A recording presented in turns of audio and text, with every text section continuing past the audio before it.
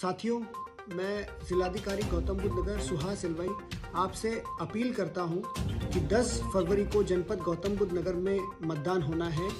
आप सभी लोग मताधिकार का अवश्य प्रयोग करें तथा आप जितने लोगों को जानते हैं, उनको भी प्रेरित करें कि वो भी मताधिकार का अवश्य प्रयोग करें। सोशल मीडिया के माध्यम से और जितने भी आप माध्यम अपना सकते हैं, उन सब के माध्यम से जितने भी लोगों को आप जागरूक कर सकते हैं, उतना करिएगा, क्योंकि विगत चुनावों में हमारी मतदान प्रतिशत बहुत कम रही है। इस बार हमें ये चुनौती है कि हमें मतदान मतदान प्रतिशत को 90 प्रतिशत करना है।